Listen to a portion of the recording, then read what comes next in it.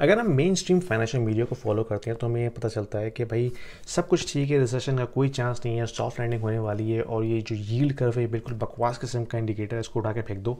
और जो federal reserve के चेयर हैं, उन्होंने अपनी लास्ट स्पीच में भी ये कहा कि वो रिसेशन को फोरकास्ट ही नहीं कर रहे। अगर उनका नैरेटिव ठीक है तो फिर ये बैंकिंग सिस्टम क्यों अभी भी टर्मोइल का शिकार है? इस पर बात करते हैं आज। आपको याद होगा कि 2008 का जो क्राइसिस आया था, उसको याद किया जाता है रियल एस्टेट क्राइसिस के हवाले से, लेकिन essentially it was a banking crisis Bear Stearns Lehman Brothers और बहुत से जो दूसरे बेतहाशा सीरीज़ के रीजनल बैंक्स थे, वो भी उसमें डूब गए थे।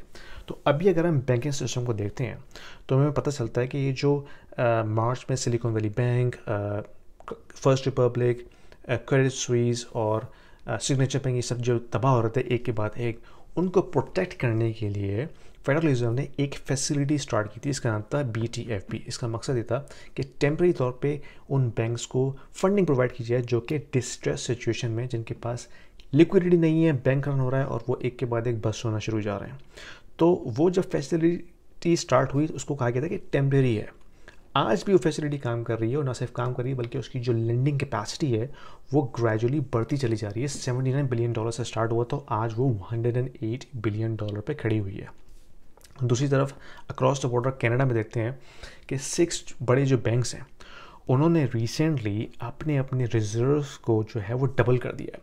यानी कि एक पैरामीटर होता है P C L provisions for credit losses वो इसलिए होता है कि अगर मोर्गेज डिफ़ॉल्ट होना शुरू हो जाए, अगर कॉरपोरेट लोन डिफ़ॉल्ट होना शुरू हो जाए तो उन लॉसेस को उन्होंने कैसे रिकवर करना है, उसके लिए ये इन्होंने एक एक रिज़र्व अकाउंट होता है पीसीएल के नाम से, उसको डबल कर दिया वन क्वार्टर के अंदर, ठीक है? तो जब इकॉनमी इतनी ही स्ट्रांग है, इतनी ही रिजिलेंट है और कंज्यूमर्स इतने ही उनके पास सेविंग है तो फिर ये बैंक्स क्यों अपने आप को प्रोटेक्ट कर रहे हैं इन मेजर्स के ज़रिए? यानी कि यूएस में देखते हैं तो अभी भी वो एमरजेंसी फंडिंग ड्रॉ कर रहे हैं कैनेडा में देखते हैं तो अपनी अपनी रिज़र्व रिक्वायरमेंट को बढ़ा रहे हैं। That means something is brewing और बैंक्स को वो नज़र आ रहा है जो हमें नज़र नहीं आ रहा। है that is why they are getting prepared for potential downturn तो बैंकिंग क्राइसिस बहुत इंपॉर्टेंट होता है, वही रिसेशन लेकर आता है। लास्ट हमने दो दफ़ा देखा है।